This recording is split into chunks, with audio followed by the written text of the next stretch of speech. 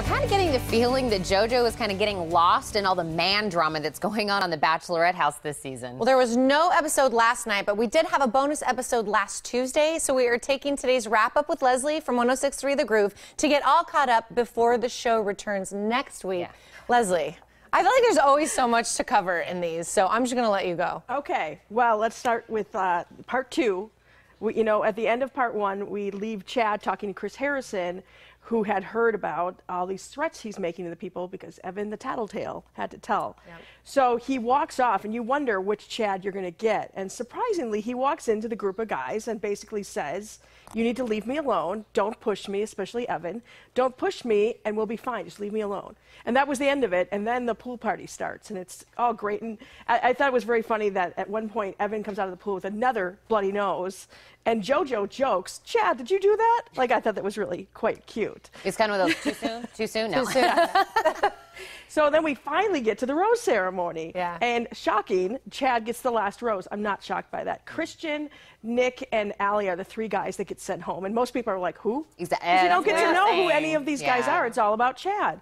So now they are going to Pennsylvania. They leave the house forever, they say. So they go to Pennsylvania, and the first one-on-one uh, date is with Luke, who I love. I really like him too. He, I, I, I, if he does not win or get the final rose, he should be the next bachelor. He is a war vet. He really talked serious about uh, about that his his duty. He lost one of his best friends in combat. I mean, it's really touching stuff, and they really seem to have a connection. So I was really happy. He seems normal. and I thought it was nice how quickly he opened up to her because I feel like that's a problem like maybe she's having with Jordan or the other guys is she's having that hard time kind of connecting. Exactly. And he, I don't know, he, he might be one of my front runners. Yeah, Yeah. he is. He's my my top two. Top two. Top okay. two, yes. And then they get private concert.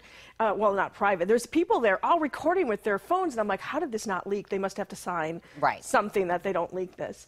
Back at the house, they get the next date, which is a group date, and everybody is on it except for Chad and Alex, which everyone knows if you watch. Yep. It's a two-on-one date, so she's got to choose between. I thought it was pretty funny that the two that you know Chad is on with Alex, who have had problems Yep. since the beginning. Uh, but the group date was fun. They got to go to Heinz Stadium in Philadelphia. And who is there but uh, Ben Roethlisberger from the Pittsburgh Right? Steelers? And he brings out two of his friends, that um, includes, including Hines Ward, who admitted that he does watch The Bachelor. His, his, he said his wife watches and he has viewing parties. See, real men. Wait, Hines Ward, was he not on Dancing with the Stars? yes, I think he Oh, he's all he's all a part Oh, of yeah. all this. I say uh, real men watch The Bachelor Yeah. and Bachelorette.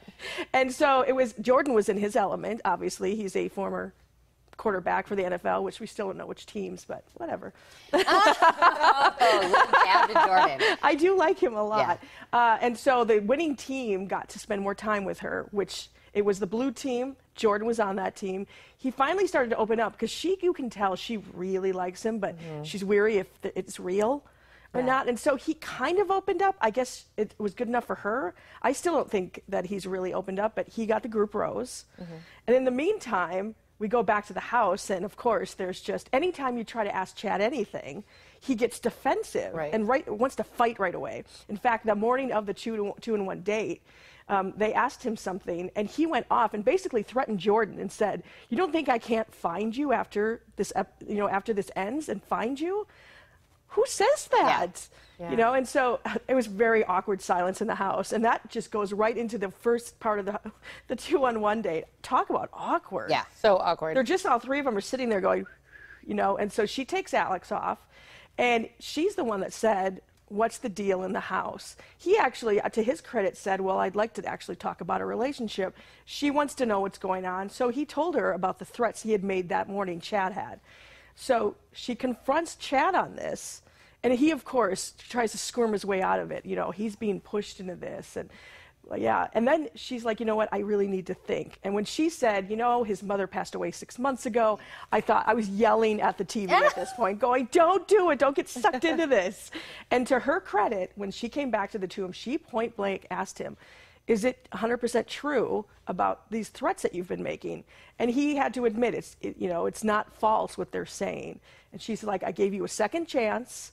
Uh, and I'm done. You're not the person I thought you were. And I'm like, finally, she sees the light. And so you see him, of course, he's standing there. Again, are you serious? Yeah. Like, I love that. But you think it's done. And the guys, when they take the suitcase away, the guys celebrate. They're toasting with shots. But then all of a sudden, there's a knock at the door. And it's Chad. He hasn't left. And some and some time has passed. Like it's dark now. Yes. And it's creepy. It's the way ve- he like approaches and Oh my No, God. he's He the knocked. whistling. I Come on know. He's whistling, and he literally goes like this on the glass window. It's a little Mike It's Myers. like, yes, I said it's here's Johnny. Yeah. like it was creepy, and it looks like there's more. Obviously, it's not done with. You know, we'll, we'll find out what happens next week. I hope that it's finally the end of Chad. So we know he's not on the show, but he's probably going to stir up a little bit more drama. So hopefully we can get back to the guys, get back to love and all that other good stuff. So I have to ask before we go, who are, you said top two, who's your front runners? Jordan and Luke are my top two. Okay. But right below that, I think is James Taylor. The Oh, Oh, like the singer-songwriter. oh, he's so sweet. Okay. He's cute. I really like the firefighter. I know we haven't seen much of him Grant. in the Since last he won that uh, one or two episodes, but I'm, I'm excited to learn more about him. I think he's a cutie. I got a little scoop really quick for you, by the way. Oh. Who could be the next bachelor? You know, Chris Harrison's been divorced for a number of years. He wants to get back in the dating game, so there's rumors circulating No. What? that possibly could he do something with. Oh my gosh, I would love that. Who would host that? I know exactly. I don't know. Call me. I'll host. Thank you so much. You can watch The Bachelorette Monday nights on KGUN 9 and make sure you listen to Leslie also during your drive home on 1063 The Groove. You can also read Leslie's Bachelorette blog. It's great. It's on 1063thegroove.com.